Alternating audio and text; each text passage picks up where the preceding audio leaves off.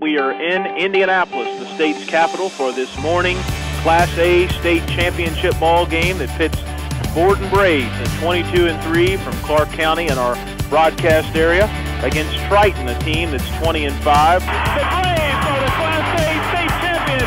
They've done it. They've won it. They're the state champion. They're bringing a title back to Southern Indiana and to Clark County. Congratulations to Doc Nash his team finishes atop the heap in Class A basketball in the Hoosier State.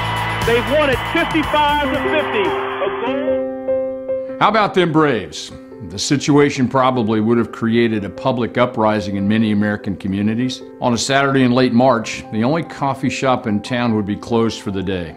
There'd be no lattes, no milkshakes, and no slices of apple pie available to the locals. But this potentially dire circumstance did not happen in a village in New York, or Iowa, or California.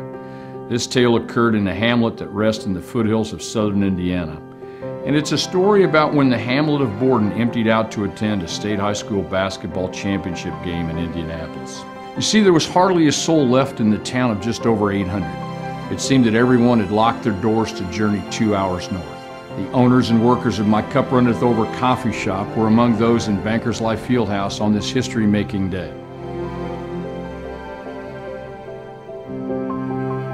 Life in Borden um, for me um, has been something pretty special. Uh, I think today uh, in our town celebration, I wanted to make sure that I got that point across to people and in our sands because I know there's a lot of people here that are lifelong community members like myself that feel the same way. Small town, you know everybody, everybody knows you.